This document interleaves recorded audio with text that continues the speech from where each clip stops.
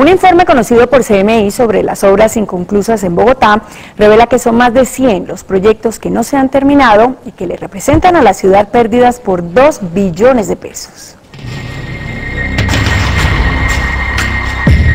Hemos detectado 127 obras inconclusas.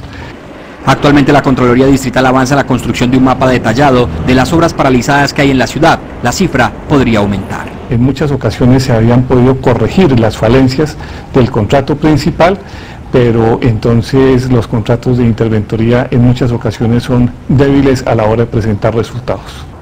Otra fase de estas obras son las que se terminaron y no han sido puestas en funcionamiento, como el puente de la 106 con novena, por acciones populares de sus habitantes, quienes aseguran que este representa un riesgo y nunca estuvieron de acuerdo con la obra. Según cálculos estimados, en obras de Transmilenio, colegios, hospitales, estaciones de policía y salones comunales que no han sido terminadas y otras están sin utilizar, los gastos alcanzarían los 2 billones de pesos, pérdidas para Bogotá recursos públicos desde hace dos, tres, cuatro años se encuentran invertidos, las obras paralizadas. Falta de redes eléctricas y conexiones y otros problemas contractuales, más el despilfarro en los servicios públicos son causas de las pérdidas.